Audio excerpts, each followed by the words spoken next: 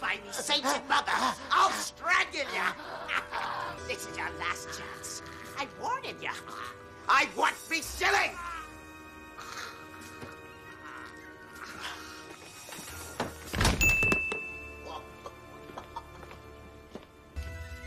You'll get what's due when I electrocute you!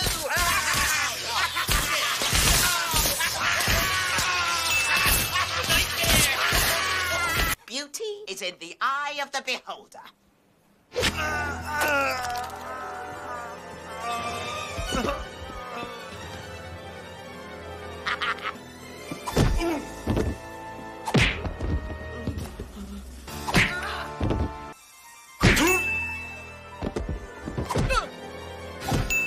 Ah, they should have been willing to give me me shilling.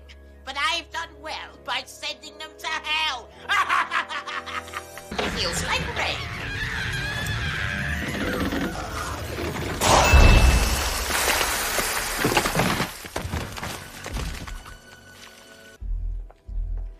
Excuse me, sir.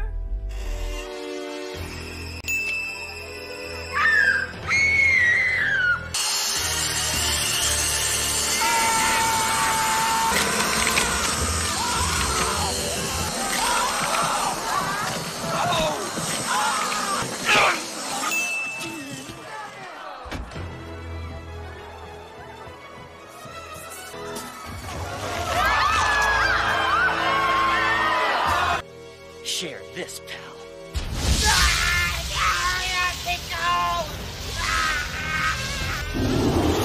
Ah!